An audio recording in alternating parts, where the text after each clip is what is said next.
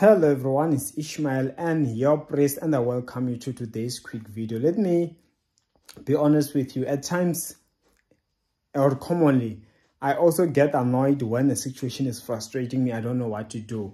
But always, now I am even used to it. When it gets to that point, I know that this is the time where I relax and I let God.